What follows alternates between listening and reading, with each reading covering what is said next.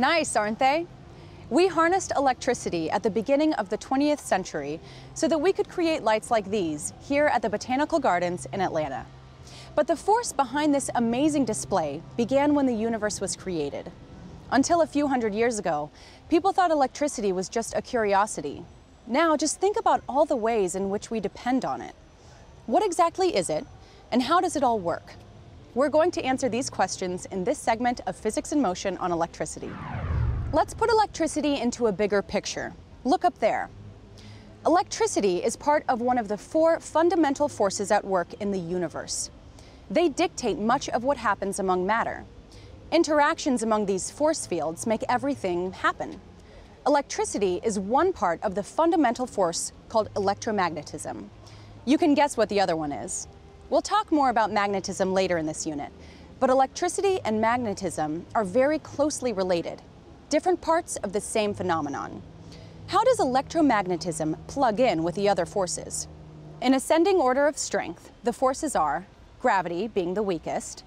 Next is what scientists call the weak nuclear force, which operates at the subatomic level, regulating radioactive decay. The second strongest is our topic, electromagnetism. It governs how electrons and protons interact and binds the electron cloud to the nucleus. And the strongest of all is called the strong nuclear force. It operates at the subatomic level, like the weak force does, keeping protons and neutrons together within the nucleus. To give you an idea of the range of strength we're talking about, the strong nuclear force is about 100 times stronger than the electromagnetic force and about a million times stronger than the weak nuclear force. Now that we understand more about the fundamental force of electromagnetism, let's look at one of its components, electricity. Ugh, we've all felt it.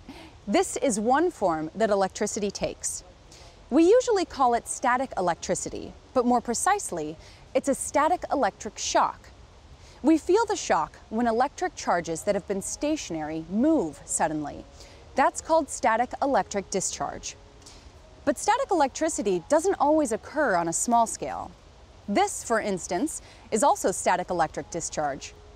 Whether it's monumental or just a household annoyance, static electric charge can build up on an object and create a jolt as it leaves. But what exactly is happening that creates the electrostatic force? It's the result of the attraction and repulsion of different particles based on their electrical charges. Here's how these particles interact. A positively charged proton and a negatively charged electron attract each other. Electrons repel each other, and so do protons.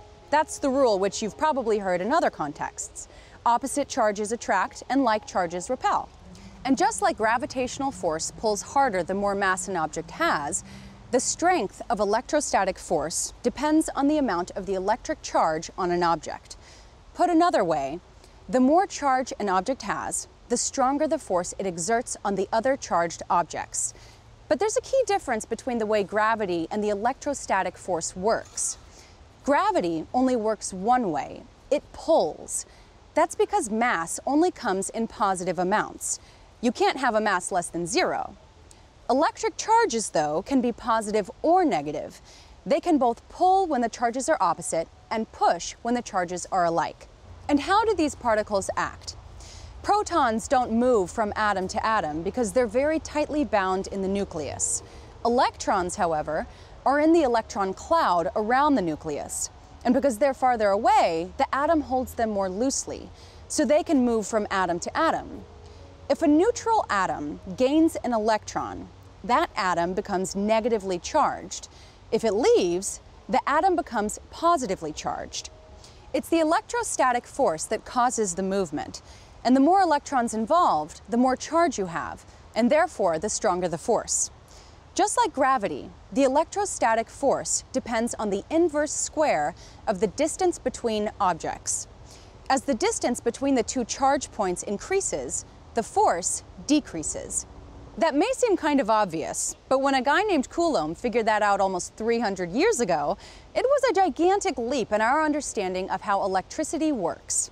Coulomb's discoveries made it possible to harness electricity, which, as we all know, is a very big deal.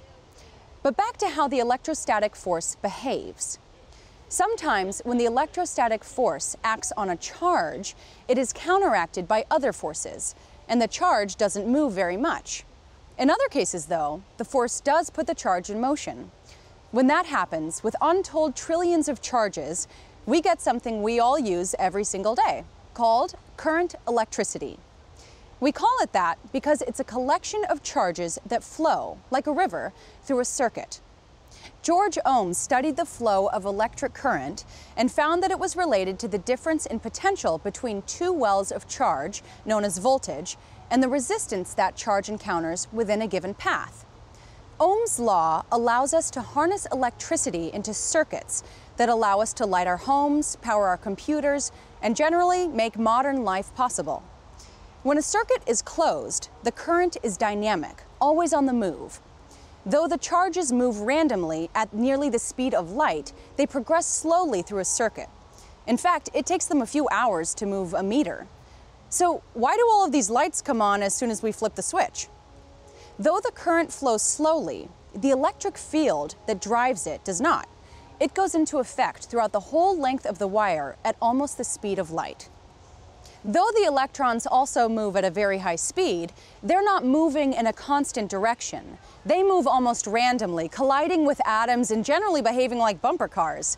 But still, the general direction is moving forward. And that's why we can use the charges to do so many things.